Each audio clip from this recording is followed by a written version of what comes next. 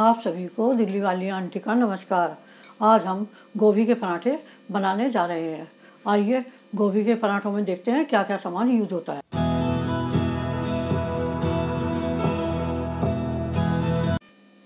ढाई सौ ग्राम गोभी लिए, दो हरी मिर्चें लिए। वैसे तो हमने ढाई सौ ग्राम लिए, लेकिन मोटी डंठल काटने के बाद, धोने के बाद ये डेढ़ सौ ग्राम के आसपास रह गई है। हमने धोने के बाद इसको कपड़े से पूछ लिया है जिससे जिससे इसके अंदर पानी ना रहे। और आधी छोटी कटोरी हरा धनिया कटा हुआ एक कटोरी आटा। एक चौथाई चम्मच अजवाइन। एक चौथाई चम्मच लाल मिर्च। एक चौथाई चम्मच सूखा और धनिया। एक चौथाई चम्मच अमचूर पाउडर। और तीन चम्मच तेल लिया है। और आधी चम्मच नमक। अब हम गोभी को कद्दूकस कर लेते हैं और हरी मिर्चों को काट लेते हैं। गोभी को हमने कद्दूकस कर लिया है। ये ऐसी करनी है। देखिए, ऐसी करनी है। और हरी मिर्चें भी काट ली है। अब हम इनको एक साइड रख देते हैं और अपना आटा गूंदना शुरू करते हैं। ये हमने एक कटोरी जो आटा लिया था, उसको हम गूंद लेते हैं और इसमें हम थोड़ा सा नमक डाल लेते हैं। ये थोड़ा सा हमने नमक डाल दिया है इसके अंदर और थोड़ा सा हम ऑयल डाल देंगे। एक बड़ा चम्मच हमने इसके अंदर ऑयल डाल लिया है। ऑयल हमने इस वजह से डाला है जिससे हमारे पराठे सॉफ्ट हो जाएँ। और अब हम इसको हम बना लेते हैं। यदि आप नमक नहीं डालते हैं तो आप मत डालिए। हम नमक डालते हैं तो इसलिए हमने नमक डाल लिया है। आटे का हमने डो बना लिया है। ये थोड़ा सा पतला ही रखें, इस तरह का देखिए। और अब हम थोड़ा सा इस हाथ पे ऑयल लेते हैं। थोड़ा सा ऑयल ले लिया और इसके आटे को लगा के हम पाँच मिनट के लिए के लिए छोड़ देते हैं। गोभी में हम मसाले ऐड कर देते हैं। ये हरी मिर्चें, ये धनिया पाउडर, ये अजवाइन,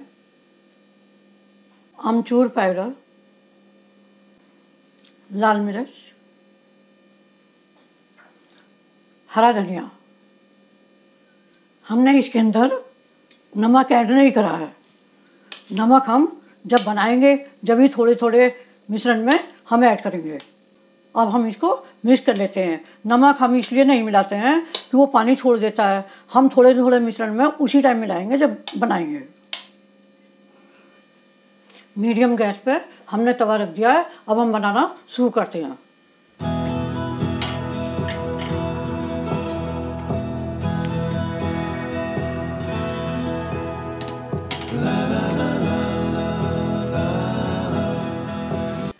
अब हम इसको आटे में लपेट के बेलना शुरू करते हैं। फिर दोबारा हम आटे में लपेट लेते हैं। थोड़ा सा हम बड़ा बोलेंगे।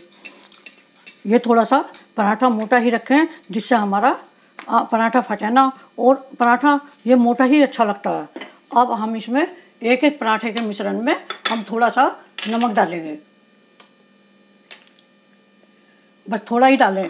ज़्यादा डालेंगे तो फिर तेज़ हो जाएगा। अपने स्वाद के अनुसार भी आप डाल सकते हैं नमक। इसे हम ऐसे मिक्स करके सारे में एक साथ ना मिलाएँ। सारे में एक साथ आप मिलाएँगे तो वो पानी छोड़ देगा। इसलिए एक एक पराठे के मिश्रण में नमक मिला के हम भर देते हैं। इसको हम ऐसे इसके अंदर डाल देते हैं। ये हमने डाल दिया है और अब इसको हम इस तरह से उठाएँगे और ऐसे उठा उठा के इसको अंदर कवर कर देंगे। इस तरह से हमने ऊपर से अच्छी तरह से आप पैक करें, जिससे ये निकले ना हमारा मिश्रण। और इस तरह से आप फिर हम इसको आटे में लपेट लेते हैं। और ऐसे करके आप उंगलियों से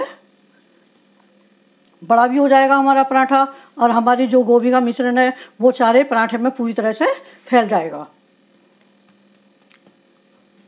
और फिर आटे में लपेट कर हम इसको हल्के हाथ से बेल लें। यदि आप रहे हाथ से बेलेंगे तो फट जाएगा हमारा। हमारा पराठा पूरी तरह से बिल चुका है। अब इसको ऐसे उठा के आराम से हम तवे पर डाल देते हैं। हमारा तवा भी गर्म है। अब हमारा पराठा सूख चुका है। इसको हम पलट देते हैं। चार पर किनारों पे तेल डाल देते हैं। थोड़ा सा तेल हम ऊपर लगा देते हैं। दूसरी तरफ़ से भी पलट देते हैं। और थोड़ा सा तेल इधर भी हम लगा देते हैं।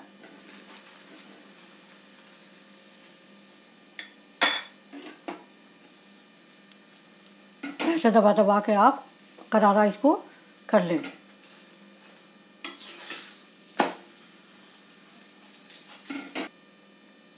गैस धीमी करके इसको इस तरह से दबा दबा के अच्छी तरह से करारा सेक लें और ये खाने में बहुत स्वादिष्ट होता है। पलट पलट के इसको ऐसे करके सीख लें। आप मुझे कमेंट में ज़रूर बताना कि आपको कैसा लगा। आप चाहें तो तेल की जगह आप घी का भी यूज़ कर सकते हैं। आप जिसमें चाहें उसमें बनाएँ। अब हमारा पराठा तैयार है। अब हम अपनी गैस बंद कर देते हैं।